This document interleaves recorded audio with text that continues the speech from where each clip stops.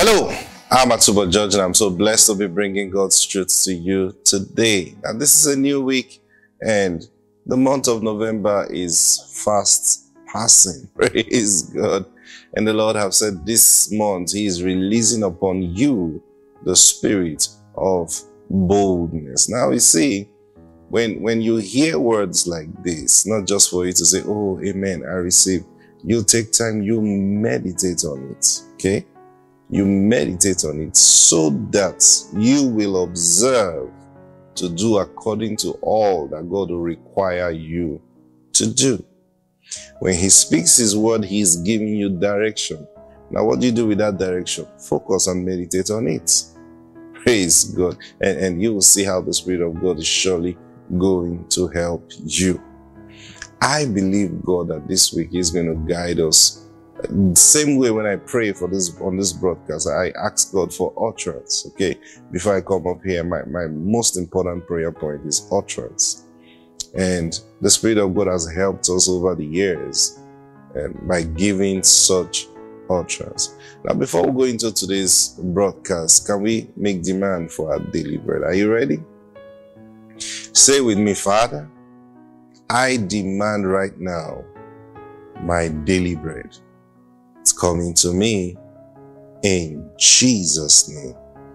Amen. I declare over your life this week, you are going to enjoy abundance of supply in Jesus' name. Amen. Praise God. We've been on the spirit of boldness, the spirit of boldness. And you remember our text scripture is from Acts chapter 4, and verse 29. Acts chapter 4 and verse 29. And now, Lord, these were the disciples praying when after they have been threatened not to speak in the name of Jesus again. It says, And now, Lord, behold their threatenings, and grant unto thy servants that with all boldness they may speak thy word. That was their request. Lord, just do this one thing for us. Grant unto us that with all boldness, or give us the permission so that we will speak with all boldness. Now, you see, you would want to think and say, okay, hold on. Um, is it not you that will be bold? Why are they now asking God for the permission they are not asking God for the permission to be bold. They are asking God, uh, please understand this. They say, Lord, we want to be, we want to boldly preach this name of Jesus, even though they are telling us not to. But there is one thing you need to do for us. As we go out to boldly declare and teach in the name of Jesus, back up Thank you, Holy Spirit. See, that's what they said in the next verse. By stretching forth thy hand uh, to heal, and that signs and wonders may be done by the name of thy holy child, Jesus. so, now, why do we preach Jesus? Because he is true. Everything he represents is true. Everything that was said about him is true. Everything he said he will do is true. See, now, when you know that this is true, for example, divine healing is true, divine health is true, divine prosperity is true, divine provision is true. You know, sometimes it's important to understand the world that we live in, and especially these days.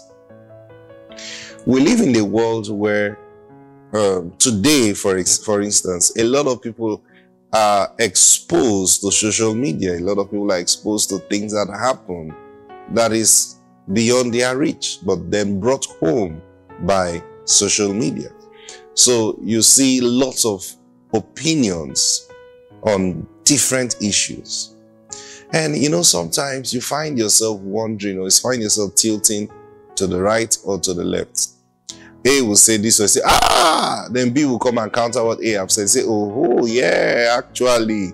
Then, you know, C comes again and reinforces A's, uh, A's uh, point of view. He said, hmm, where do you stand?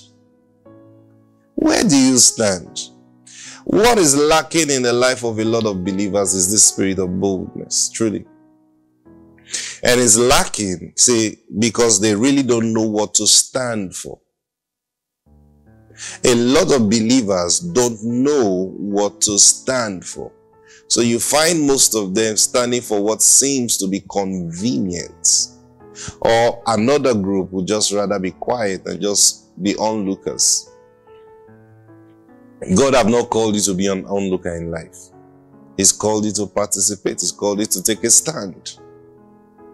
Now, taking a stand doesn't mean you, you are up against uh, somebody or you compare yourself with, with another person. No. You must be smart. And the only way you can take a stand, and please listen to me, the only way you can take a stand is when you have encountered, I'm talking about the gospel of Jesus Christ now, is when you have encountered Jesus. What you have not experienced, you can't really take a stand on because when when the challenge for that thing will come, you may not have what it takes to withstand it. See, when we say take a stand, when they just say come and stand for Jesus, no, no. A lot of people have died that way. When we say take a stand for Jesus, we said that which you have, just like John said in John, First John chapter 1, that which you have seen, which you have heard with our ears, and our hands have handled the word of life. He said, For the life was manifested, and we have seen it. Okay. Now John is saying, Look, we have seen it. And because we have seen it, we are bearing testimony of what we have seen.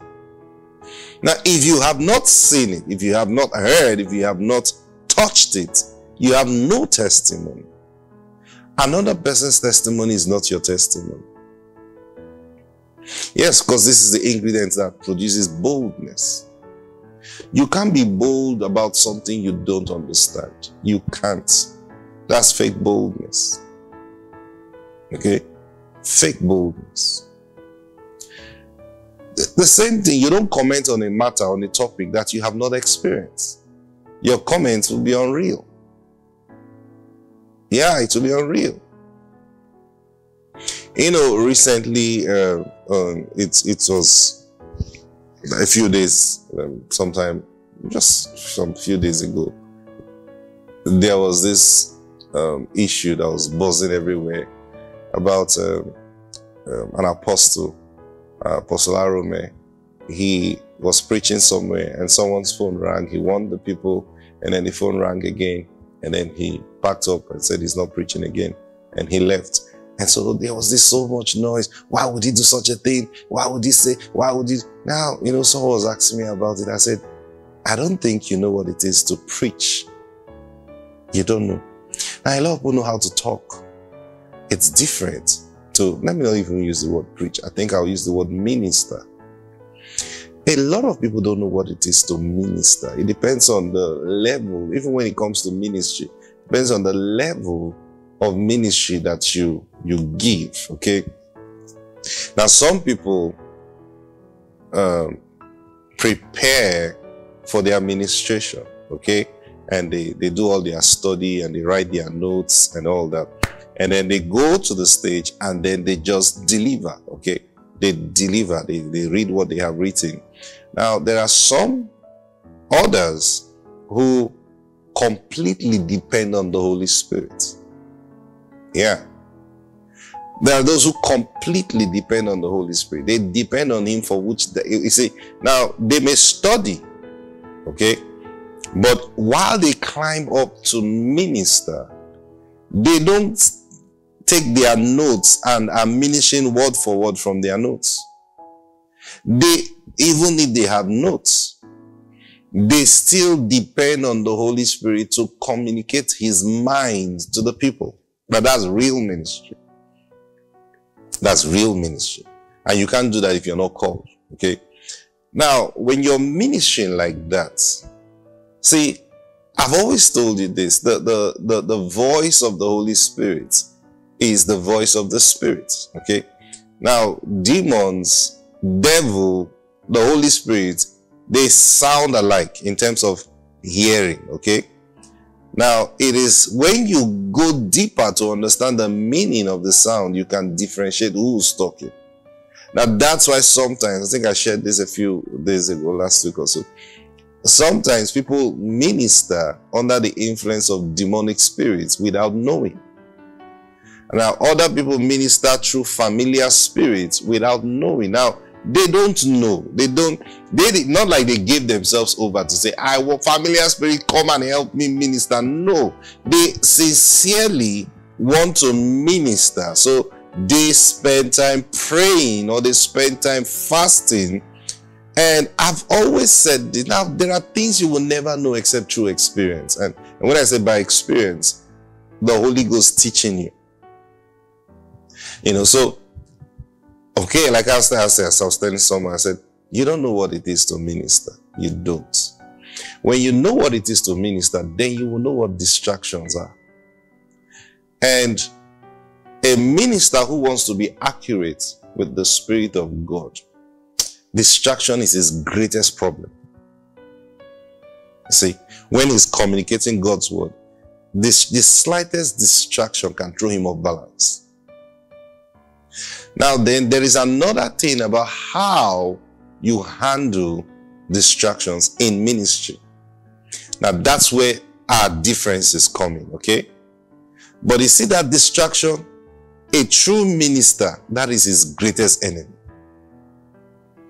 A, the ringing of a phone can throw a minister off balance, completely off balance.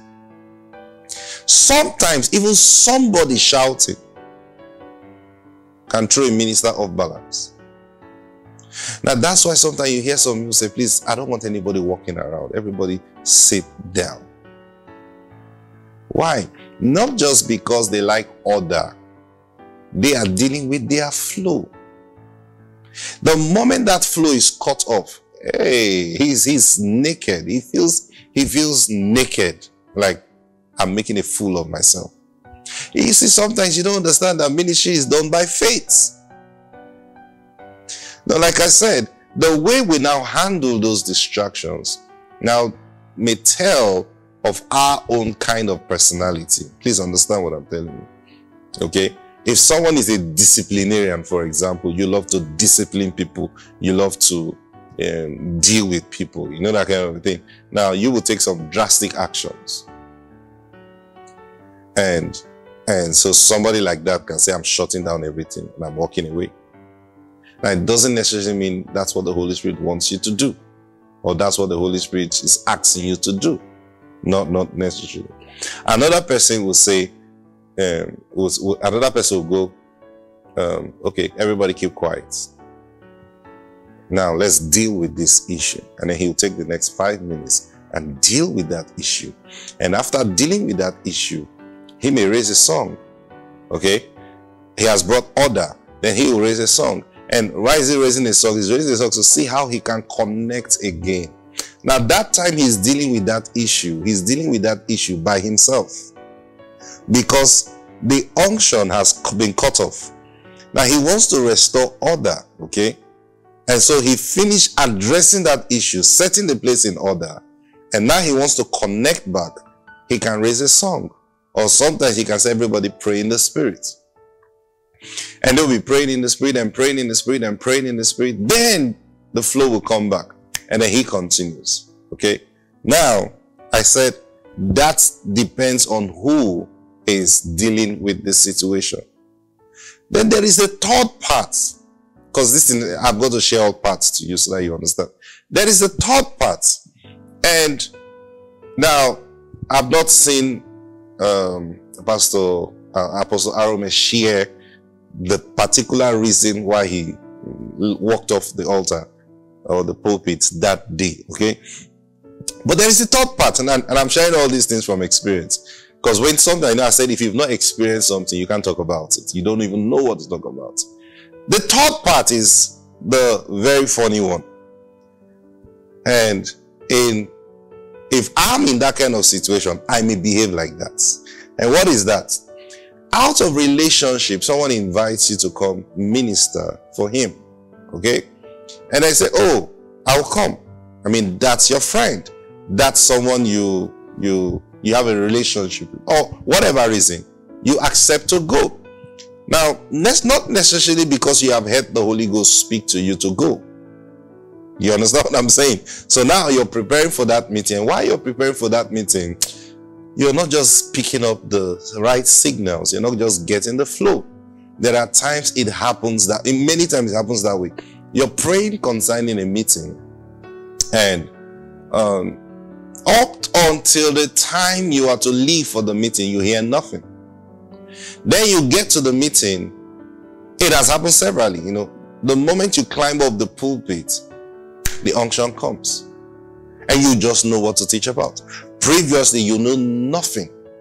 There are times even when you prepare, you feel, okay, I know what I'm going to share. You climb up that pulpit, completely everything changes. But then you know there is a flow.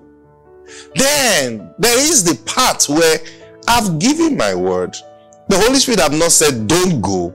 He has not said go, but then he has not specifically given me a word. So I begin to search my heart depending on the kind of meeting that you you're dealing with. If it's a leadership meeting, then you know that okay, it's my job to inspire these people on, on how to love God better and serve God and be diligent in their work. Now, those are the thoughts that will be flowing through your mind. While it's flowing through your mind, you're pick, trying to pick what exactly the Holy Spirit would want to. So you go for that meeting, you start ministering, you really have not picked the unction, okay? And then something goes off. Automatically, you're thinking, maybe I'm not even supposed to be here. Why? Because now you, the Holy Ghost have not specifically given you a word. If He has, then you know that you have to fight to deliver that word. But if He hasn't, and then while you're talking, you're waiting for Him, hoping that while you go on, that's like starting in the flesh. And while you start in the flesh, you are still waiting for him. Why? Because he did not say, don't go. Please understand this. And then, for example, if you watch that video, it happened, and then he warned them. Then he said something. If it happens the second time, I will leave. And then it happened the second time. I'm telling you the truth. If I'm in that kind of situation, I'll pack my Bible and leave. That's if it's if it happened in this thoughts angle. You understand what I'm saying? Whereby you've not specifically heard the word tell you what to preach or tell you to go to that place, even though he didn't say don't go. Okay? Now at that point, you're waiting for him to come. At the slightest opportunity you feel he's not coming, you want to leave that place. now these are spiritual things a lot of people don't understand. So just come online and start talking all kinds of things. Please be wary. Be wary of such. Go and experience Jesus for yourself and before you speak about the matter. I can speak to you about this because I know what it takes. I know what it is. I've been in situations like that. Like I said, we may handle things differently. But you see that distracting thing is real. it's real. Don't don't don't let people cajole you into um, you know, like like young ministers, for example, you look at it, say this thing's not nice. So wait until you get there. Then you would understand. Okay? Now, I don't like ministers being extreme. Okay? There must be a, a kind of balance. But then when it comes to obedience to a command from God, you better be extreme.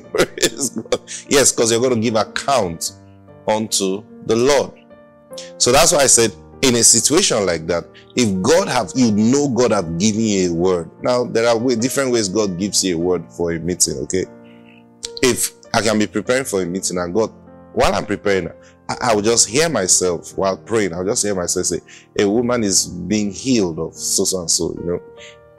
Or sometimes I see myself going to lay hands on somebody on a red shirt, you know, and then now, while I'm preparing, I see those things. So now I know that these are the things God wants me to do in that meeting. Now, when I come to minister and then a distraction hits me, now I'll know this is the devil. And then he wants to attack me from delivering what God has sent me to deliver. I will not take it out on the people, I will take it out on him. So I'll deal with that distraction so that I can. Now, in that case, You're going to answer to God if you walk off that stage, irrespective of what happens. You will rather take the, and sometimes taking that discipline may even be telling somebody to walk out of a place. Or sometimes casting out a devil. Yes. Because a demon can be doing that. Oh, yes. God. Yes. A demon can be responsible for that. Like, let me, let me distract. He knows what will get you offended. So he tries to throw it at you. Now you know it's not the innocent people. It's one fellow. So you look at the first you want to know, am I dealing with a demonic influence here? Or am I dealing with a foolish human influence? If it's a foolish human influence, you observe, if I take one person out of this meeting, because I can see where the problem is coming from. If I silence that person or take that person out of that meeting, we're going to have order. So you do that. Now, even if you do that, some people say, Oh, it's not right. Why would you send somebody out of your meeting? And can the person's soul be saved? There is there is no, it's not hey, it's not every soul that will be saved. The earlier you understand that, the better. Praise God. But what am I sharing with you today? Be bold to do what you know is right. And don't don't don't sit down and, and try to explain yourself and explain yourself. No, sir. Be bold to do what you know is right. And don't be rash into conclusions. Don't, don't just jump into conclusions and say, this is what I'll do. Because this person did it, I'll do it also. No. Follow the leading of the Holy Spirit. Praise God. Be bold. Be bold. Receive the spirit of boldness today. Receive the spirit of boldness today. In Jesus' mighty name. Amen. Praise God. I'll see you tomorrow. God bless you. Bye.